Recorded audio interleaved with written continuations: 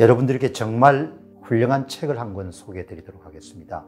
김동주 박사님, 역사학과 신학에 대한 상당한 조회를 가지신 분이 26년 동안의 그런 연구를 총집결한 책이 바로 기독교로 보는 세계 역사란 책입니다. 제 자신이 작가로서 한 100여 권 정도의 책을 썼지만 정말 대작이다라는 생각이 듭니다. 이 책은 천쪽 분량의 굉장히 긴 책이지만 중간중간에 세계사의 중요한 사건과 관련한 또 중요한 인물과 관련된 예화라든지 그런 흥미로운 이야기를 함께 싣고 있기 때문에 전혀 지루하지 않게 경쾌한 스텝을 밟는 것처럼 그렇게 읽어 나갈 수 있는 그런 책입니다. 여러분께 정말 아주 강력하게 추천하고 싶은 책이 김동주 박사의 기독교를 보는 세계 역사입니다. 안녕하십니까 공평호입니다.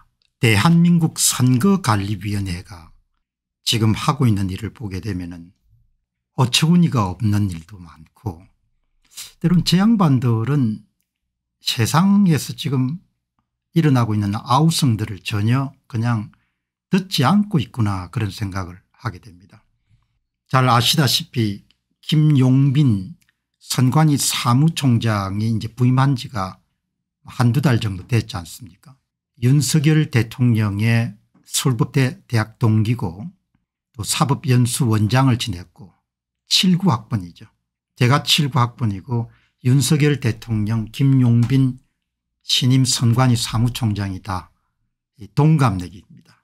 그런데 참 김용빈 사무총장이 취임하고 난 다음에 행보를 보면은 처음에 100일이 굉장히 중요하지 않습니까 그 행보를 보게 되면은 혀를 끌끌 차는 분들도 계실 거고 애시당초 이제 판사를 임명하는 걸 보게 되면 그냥 물 건너 갔다 이렇게 판단하신 분도 계시고 때로는 뭐 기대를 가지신 분도 계시겠죠.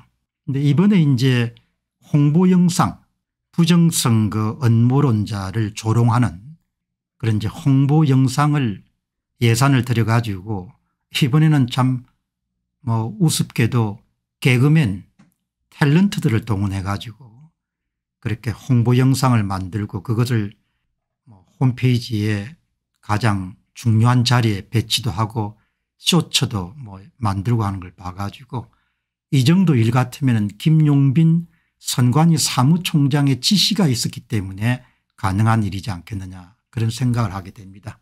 물론 김용빈 선관위 사무총장이 지시를 했는지 여부는 확인된 바는 없습니다. 통상 사례를 보게 되면 은 뭐 이렇게 중요한 일은 사무총장 지시 없이는 일어나기 힘든 일이다 이렇게 보는 거죠.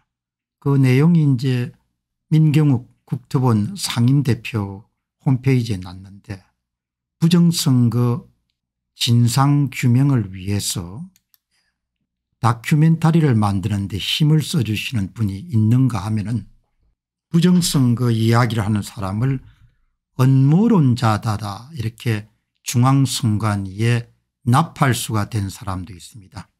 이 두 탤런트가 세상을 사는 방식입니다. 이런 이야기가 올라 있습니다. 그 아마 두 사람을 내세워 가지고 선관위가 하고 싶은 이야기를 뭐 이렇게 대형시켰다 그래서 제가 선관위에 정말 기이하고 회계망측한 행보다 이렇게 해석을 하고 싶습니다. 4.15 총선이 끝난 다음에 3년 6개월이 지났습니다. 그러니까 지금 정도 와가지고 선거관리위원회가 이렇게 부정선거 업무론자다 뭐 이런 이야기를 하는 것은 뭐 말이 안 되는 이야기죠. 그러니까 참 어처구니가 없기도 하고 이게 만일 이제 김용빈 선관위 사무총장의 지시에 의해서 이루어진 일이다 이렇게 보면은 그 김용빈 사무총장도 역사에 준엄한 그런 심판을 피할 수가 없겠구나. 전직 사무총장들이 다 끝이 좋지 않았지 않습니까 조혜주 씨 김세환 씨 박찬진 씨 이런 사람들이 다 불명예스럽게 퇴진했는데 김용민 씨도 예외가 될 수 없다 이렇게 보는 거죠. 부정선거 범죄가 발생하고 난 다음에 3년 3 6개월이 지났지 않습니까 뭐 지금은 부정선거 업무론 이런 이야기 잘 언론들도 사용하지 않지 않습니까 본인 스스로도 그런 이야기를 하기가 좀 찜찜하기 때문에 그렇기 때문에 동갑내기인데 세상을 어떻게 이렇게 사는지 참 이해가 안 가는 거죠. 조금 더 한번 알아보도록 그렇게 하겠습니다. 사람이 바뀌면 정책이 바뀌어야 됩니다. 부정선거를 외치는 애국 시민들로서는 윤석열 대통령의 친구 김용빈이 선관위 사무총장에 임명돼 사뭇 기대하는 바가 있었습니다. 저는 전혀 기대하지 않았습니다. 그런데 최근 선거관리위원회가 부정선거를 주장하는 우리들을 업무론자라고 조롱하는 동영상을 세금을 써서 만들어서 선관위 유튜브 대문에 내걸었습니다. 이것은 김용민이 앞으로 나아갈 방향이라고 봐도 되겠습니까 아니면 취임한 지 얼마 되지도 않은 김용빈이 내부 장악에 실패해서 강경 세력에 목더미를 잡혀 놀아나고 있는 것입니까 김용민은 답하라. 사실 선관위 사무총장이 뭐 단기 필마로 혼자 들어가 가지고 선관위를 개혁하기가 굉장히 어렵죠. 현재 선관위는 인적 쇄신이 없이는 도저히 제대로 기능을 하기 힘들 정도로 조직 자체가 부패했습니다.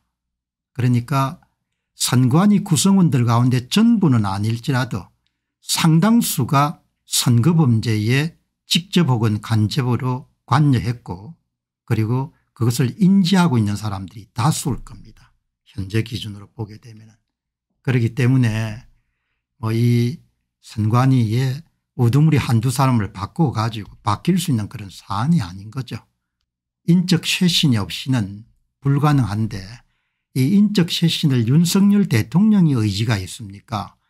대통령실이 의지가 있습니까? 아니면 여당이 의지가 있겠습니까? 대통령 중심제 국가에서는 대통령의 의중이나 의지가 대단히 중요하지 않습니까? 윤석열 대통령은 선거 부정에 대해서 이 문제가 얼마만큼 심각하고 대한민국 존립의 중요한 문제인가에 대해서 그렇게 깊은 생각이 별로 없는 것 같습니다. 예, 그리고 본인이 정치적 리스크를 감당할 만큼 그렇게 뭐 용기나 이런 것이 있지 않기 때문에 솔직히 말씀드리면 대한민국의 선거 부정 문제가 해결될 가능성을 저는 낮게 보는 거죠. 그럼에도 불구하고 이 문제가 사안이 너무 중요하니까 누군가는 계속해서 사실과 진실을 밝힐 필요가 있기 때문에 계속 이 문제를 이렇게 거론하는 겁니다. 뭐 이 보시게 되면은 지금 와가지고 부정선거 업무론자다 뭐 이런 이야기를 하면 안 되는 거죠. 중앙선거관리인의 김용빈 사무총장이 개그맨 남희석을 시켜서 국민들에게 부정선거 업무론을 믿지 말라고 했다. 김용빈에게 묻는다. 우리의 주장 가운데 그 어느 부분이 업무론인가. 판사들이 그동안 해온 행적을 선거 부정 문제와 관련해서는 대단히 실망스럽지 않습니까? 그렇게 많은 교육을 받지 않은 사람들도 충분하게 원인과 결과를 그렇게 따지면 은 선거 문제에 대해서 의심을 품을 수 있는 부분들을 다 닥치고 그냥 다 뭉개는 쪽으로 그렇게 대법관들이 다 줄을 서게 됐지 않습니까? 보니까 그런데 다행히 하루가 지나가지고 선거관리위원회가 남희석 영상을 내렸습니다. 뭐 이렇게 나온 거죠. 해프닝이지만 너무나 중요한 사안이기 때문에 제가 이 문제를 이제 언급하는데 참 김용빈 선관위 사무총장이나 윤석열 대통령이나 저나 79학번 올해 62세 만 62세죠. 자식들이 다 있을 것이고 대개 아이들이 좀 결혼이 정상적으로 이루어졌으면 출가해서 손자 손녀도 있을 수 있는 그런 연배지 않습니까? 그 정도가 되면 은 본인이 내리는 판단이나 의사결정 과정에 아이들 세대 문제가 분명히 포함이 되지 않습니까? 뭐 지금 여러분들 이 선거 문제는 감춘다고 감출 수 있는 사안이 아니지 않습니까? 왜 그런가 하니까 선거관리위원회가 뭘 했습니까 위조 투표지 뭐 몇만 장을 투입한 선에 그치지 않았지 않습니까? 2017년 대통령 선거부터 2023년도 4월 5일 보궐선거까지 모든 공직선거에서 후보가 받은 득표수 선거 데이터를 조작한 거 아닙니까? 낙선시켜야 될 후보의 사전투표 득표수에서 일정 퍼센테이를 마이너스 처리하고 훔치고 훔친 만큼 작물이죠. 도둑질한 득표수니까 그 작물을 본인들이 당선시키고자 하는 후보 뭐 주로 더불어민주당 후보하고 친민주노총 후보들한테 플러스 처리한 더해주는 방식으로 득표수를 조작했고 그 득표수를 조작한 내용을 본인들만 여러분들 뭐 꿍싱꿍시라 그냥 본 게 아니고 그것을 홈페이지에 자랑스럽게 발표를 했지 않습니까? 그러니까 2017년 대통령 선거부터 2023년도 4월 5일 보궐선거까지 대한민국의 헌법기관인 선거관리위원회가 전산 조작을 활용해 가지고 후보가 받는 사전투표 득표수를 조작한 선거 데이터가 낱낱이 다 공개되어 있는 거지 않습니까 그 선거 데이터를 분석해 보게 되면 어떤 수학 관계식을 사용해 가지고 표를 이동시킨 것이 다 지금 드러났지 않습니까? 제가 그것을 거짓말하는 것이 아니고 제야 전문가하고 이런 공동작업을 통해 가지고 이렇게 다 밝혔지 않습니까? 도둑놈들 일권은 선거 전체적으로 일곱 번 공직선거에서 어떻게 부정선거가 발생했는 것을 다뤘고 도둑놈들이 2건하고 3건은 윤석열 대통령이 당선된 2022년도 3구 대통령 선거에서 240만 표의 사전투표 득표수를 어떻게 선관위가 주도해서 조작을 했는지가 다 나왔지 않습니까?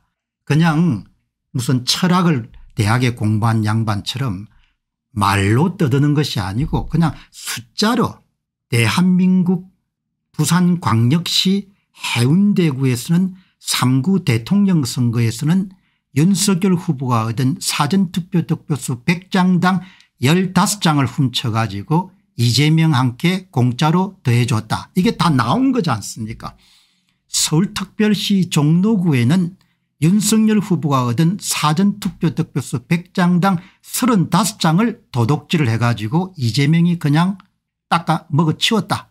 이게 다 나온 거 아닙니까 대구광역시 수성구에서는 윤석열 후보가 얻은 사전투표 득표수 100장당 5장을 훔쳐가지고 이재명에게 옮겨서 더해주었다.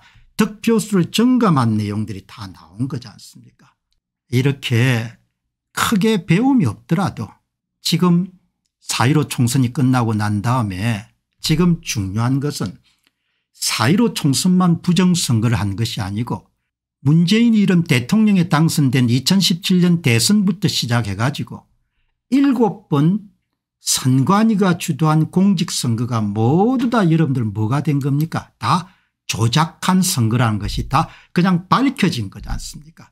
제가 그냥 뻥을 치는 것이 아니고 이렇게 다 밝혔지 않습니까?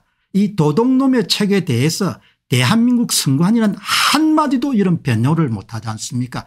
변명 못하지 않습니까 공병호란 사람을 고소 고발을 못하지 않습니까 왜 숫자를 조작한 것이기 때문에 조작했으면 한 거고 조작 안 했으면 안 한 거지 조작을 한 것 같기도 하고 안 한 것 같기도 이런 게 없는 겁니다. 자신이 없는 거죠.